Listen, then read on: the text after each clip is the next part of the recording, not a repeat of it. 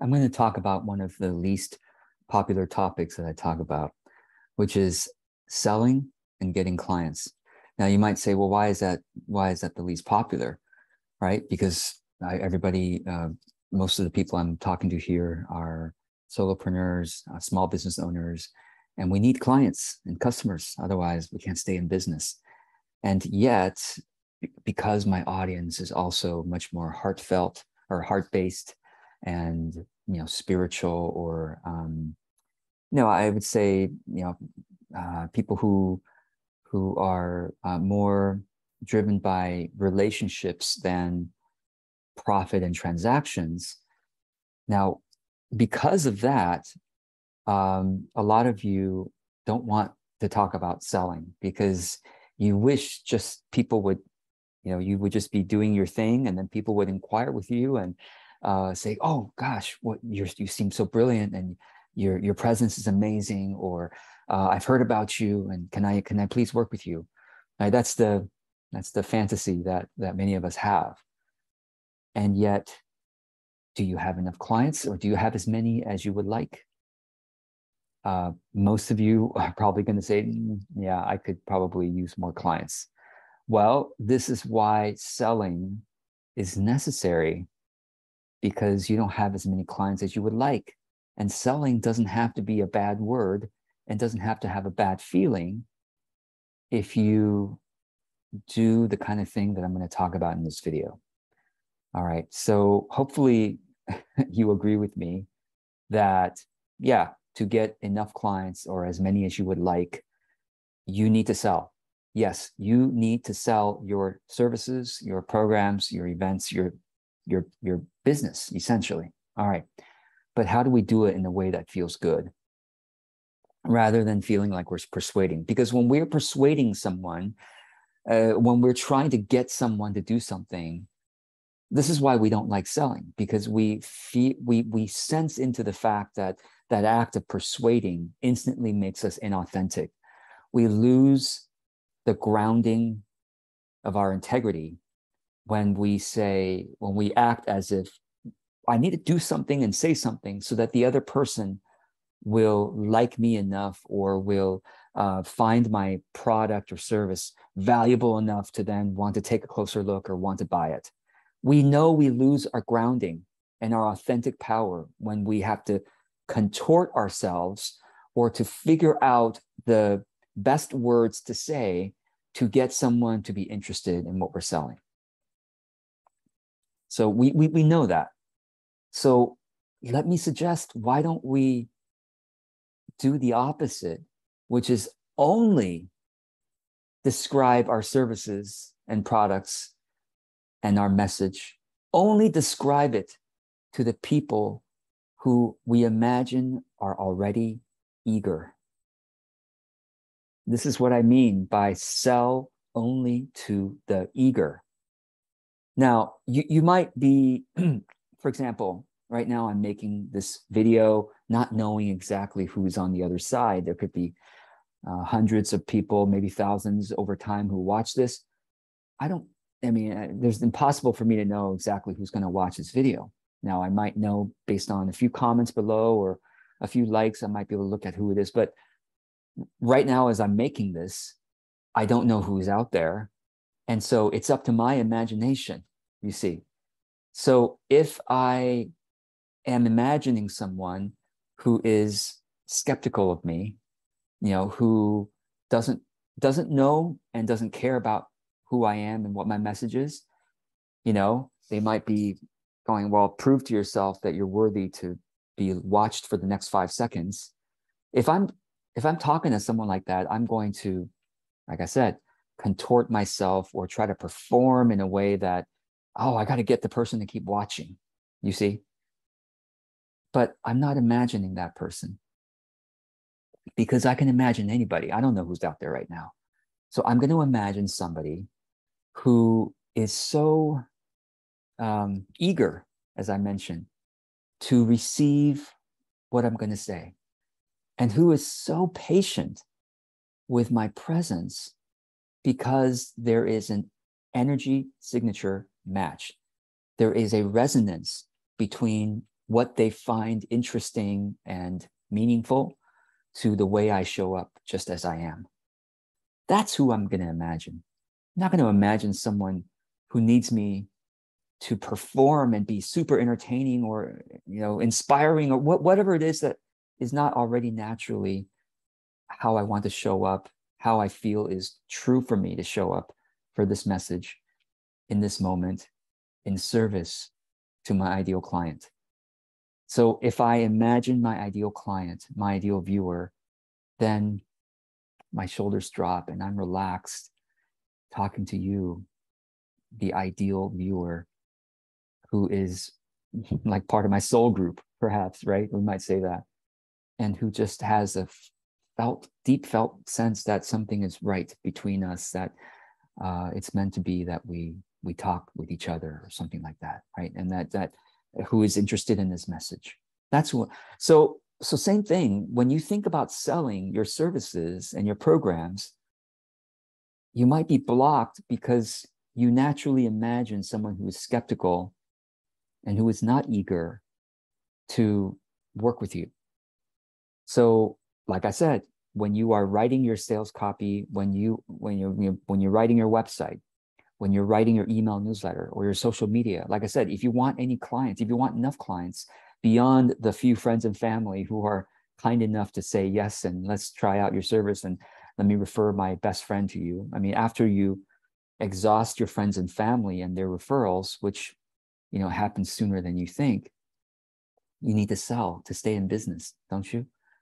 And uh, let me first say, one day, if you are doing the kinds of things that I always uh, urge you to do, encourage you to do in these videos, authentic content marketing, you know, collaborations, you know, net caring, gentle launches, right? Being consistent in your joyful productivity and doing these things. If you if you are, one day you only have to whisper whenever you have a service you want to fill uh, with clients or a program you want to fill, you only have to whisper and you get more than enough. I mean, I'm grateful that the day has come for me. You know, the the this is what I experience now. When I have a program to fill, when I have courses to sell, I just whisper and I get more than enough people who sign up. My launches are so gentle compared to other people uh, in my industry, mainstream marketers who are so much louder and like they send 85 emails instead of two emails like I do when I want to launch something. So I'm at the stage now where I can simply whisper, but it wasn't always like this. Obviously, I started where you know many of you are, um, which is like I, George, I, I just need clients. I can't whisper, right? I got to do what the mainstream marketers. I got to yell. I got to shout. I got to create sales funnels. I have to be clever, persuasive. I have to be polished and and have all my branding amazing and together. I I can't just whisper, right? So, but if you continue, like I said, with joyful productivity to do authentic content marketing consistently, which is which is the intersection of exploring your passion and your service to humanity. That intersection is called authentic content marketing. If you keep doing that consistently, you will grow, grow, grow an audience of true fans. The people that you are imagining you want to talk to are going to show up.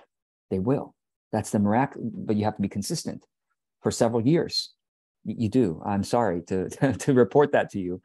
Uh, if someone else is saying something different, I don't know that they're telling you the truth, because I've seen I've seen this again amongst hundreds of people that this is how uh, this is how it works. Um, now, not not not everyone takes years.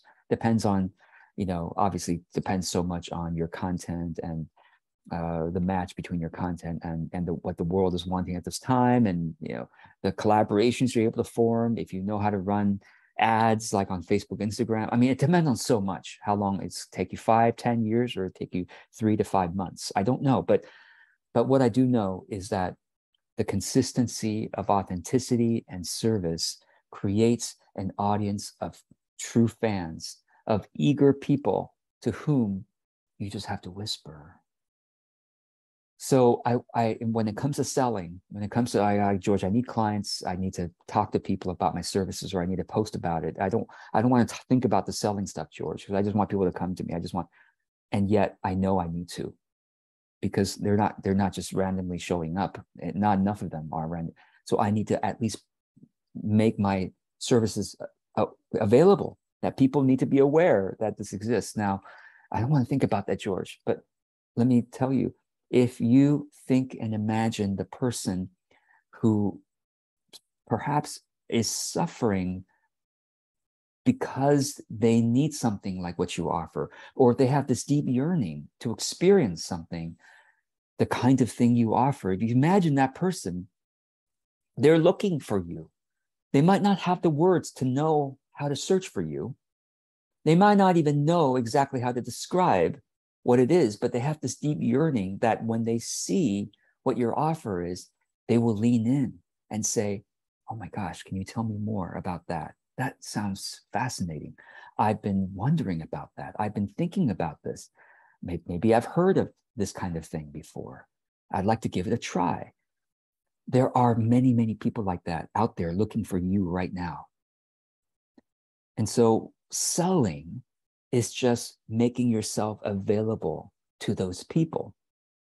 My, marketing, right, is, and I want to thank uh, Gil Friend, uh, my colleague Gil Friend, for coming up with this. Marketing is in, is to um, share something you love with the people you care about. I'll say that again. Marketing is sharing something you love with the people you care about and I'll say authentic selling is making yourself and your service available to those who are eager and deeply want what you offer. It's up to your imagination. Are you willing to use your imagination for a little bit? That's what defines us as truly human is we are able to imagine and envision, you know, the kind of person we, we want to draw forth to us. And so I want you to use your imagine, imagination a little bit now and say, okay, what is that person like who is so eager to receive what the service and product is that I, and, and, and is naturally resonant with who I am just as I show up? Who is that? Imagine that person. Describe that person. You, if you would like to, you can describe that person below this video in a comment if you wish to. But whenever you write your website or write your social media posts or write an email newsletter or re- or even reach out individually to someone i want you to imagine that eager person so that your shoulders can drop you can feel relaxed in the presence of someone who genuinely likes you for who you are and who is eager to know about your service because they need it and they want it. In the presence of someone like that, you feel confident, you feel alive because they want, they say, please tell me, please tell me what it is you offer because I've, you know, uh, I know it's going to be something that I'm so excited about and inspired by and are deeply um, interested in signing up for. Be in the presence of someone like that when you write when you make videos, when you record your podcasts, when you sell, again, selling, authentic selling, being making yourself available to those who eagerly are seeking your service. So let me give you a couple of, uh, I guess, analogies. I keep getting confused. Analogies, I think, or metaphors uh, of, of what this is like. So it's like having your own Ivy League program, Ivy League meaning one of the top colleges in the world, right? Imagine you're a you're a you're a college student and you're trying to apply to colleges, and then this top academy, this top university or college, you know, is available to you, uh, or they're they're they're you know you you can apply to that college. Right? How how are you going to to approach that opportunity? Are you going to be like, yeah, prove to me Harvard or Stanford or Oxford or whatever place that's you know top in your in your nation. Prove to me that you're worth my you know application, my my my uh, attending your university. college students don't don't i mean they're like really? Harvard is interested in me? Stanford's interested in me? Oh my gosh okay uh, so imagine your ideal client your eager client is like that college student who is applying to your ivy league unit your service your business your offer is like a harvard university to that potential client. You see what i mean? So in, in that if, if that's true how will you approach your writing and your speaking and your communications where your ideal clients are involved?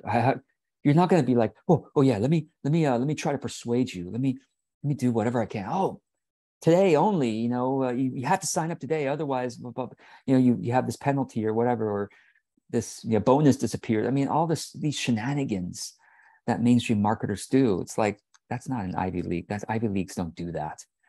You know they're they're sitting back confidently saying we know our product is amazing and we know that uh, if you were to get in you'd be so you'd be the lucky one. Sure we are lucky too because we we recruited a great student like you a great client like you but really you you are very very lucky to be able to work with us right? So i want you to understand that to the ideal client to the eager potential customer you are the Ivy League to, to them. They're like, oh my gosh, I'm so grateful I found you. How, how, how much, how much, um, I hope I can afford what you offer. Um, and whatever it is, I'm going to do my best to, you know, budget that money because it's so worthwhile to work with you. I want you to imagine that whenever you sell. Again, I just want to transform that idea and that word for you. Sell, just making yourself available to the eager potential client. So you are the Ivy League for your potential client, your your ideal client, right? So especially if it's like a, especially if you sell something that's a higher ticket item or a premium program that costs maybe thousands of dollars or someone, certainly that's a very apt analogy for you to think, oh, I, am the Ivy League here. Let me, uh, whoever's talking with me as a potential client, they should be eager. They, they should, I'm, I'm only going to talk to the eager people because if, if they're not eager, they don't understand the value of what I offer. They don't understand the value of it. And i'm why am i working so hard to try to persuade them of the value? No no there's other people out there who would be eager. And let me just find the let me just only talk to those people. And whatever i write online i'm going to imagine it's i'm talking to those people right? Like i said over time as you do your authentic content marketing with a spirit of joyful productivity. Do it consistently. You are going to have plenty of those eager people saying oh my gosh how can i work with you? So that's one analogy. Another analogy that's also useful, uh, especially for those of us who sell lower price things, like if you're selling an online course or you're selling a, a you know, something that's a few hundred dollars or less, maybe a few dozen dollars, then think of your offer as like your Black Friday product. Uh, Black Friday is, uh, those of you don't know, it's in the United States. Well, it's probably global by now, but it's after the US Thanksgiving when lots of retailers have the best deals of the year. Black Friday, you know, and then it's like, oh my gosh, I've been waiting. A lot of people, a lot of shoppers, you know, kind of wait all year for Black Friday to get the great deals on things that they've been looking at buying. But now it's a great deal. Well, think of your low price offering like a Black Friday offering. Like, and I'm not saying you need to make a discount, but I'm just saying when you are writing, when you are speaking about it, when you are thinking about selling it, remember selling is just making yourself available to eager buyers. When you're thinking of selling, think about, wow, people are, uh, the people I'm talking to are going to be like, oh my gosh, what a great deal. Oh, wow, you offer that product for only that price. I'm not saying you have to offer at a super low price. I'm just saying whatever price you offer is naturally an amazing deal to the perfect buyer. And that the perfect buyer are the people either are the people that that i only want you to talk to in your mind. So that when you show up in your marketing and your selling it has a different energy to it. It has the energy of i know my stuff has great value and i don't have to you know bend over backward to convince you of anything. I'm just going to share uh, for those who are eager i'm going to describe what this thing is and just to make sure that they're they, they understand what uh, what they're going to get and um, who it's for you know? Uh, you see what i mean?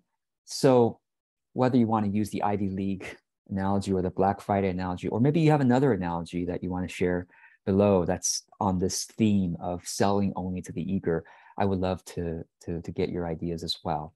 So long story short we our energy and time is so precious that if we spend this life source that, that this, this life energy that we have this limited life uh, time that we have contorting ourselves into various persuasive shapes and trying so hard to get people to do this or that i feel like that's not the most meaningful use of our life. Rather to use our life energy to imagine using our brilliant human you know capacities to imagine the eager ideal client or reader or customer and share and show up for that person who we imagine in our mind. And over time your network and your audience will say wow you seem really like you offer a lot of value.